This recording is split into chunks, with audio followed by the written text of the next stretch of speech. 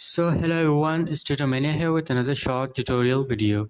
So in this tutorial, I'm going to show you how you can install Windows 11 using CMD and bypass the requirements for unsupported PC. So before we get started, make sure to subscribe our channel Tutormania and press the bell icon for upcoming videos.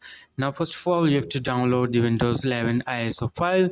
So I have already uploaded a video on how you can download that file from Microsoft website so um, make sure to watch that video and make sure to download the same language package for installation that you are already using in Windows 10.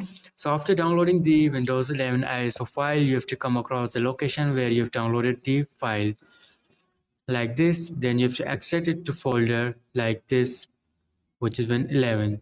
After that, just copy this folder and come across local C and paste it here like this. After that, open up the folder, copy the location.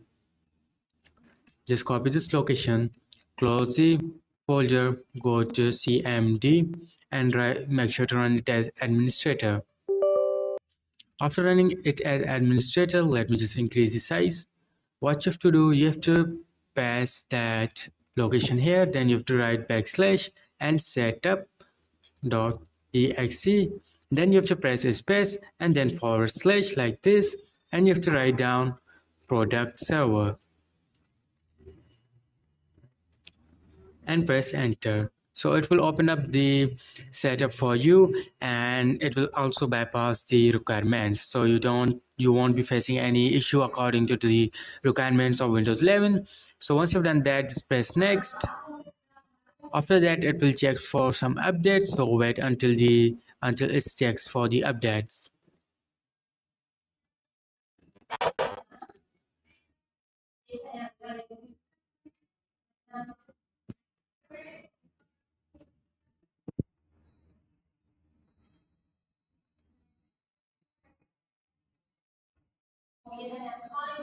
After everything done you will see a you know page like this where it will uh, say to accept the license. So just press accept and it will ask you choose what to keep. So here i'm getting only this keep personal finds only and other one is nothing. So why am i getting that? Is because my my package that i've downloaded for windows 11 language is different than the language that I've installed in Windows 10. So make sure to download the correct language packet for the Windows 11 then you will getting this keep file settings and app option also.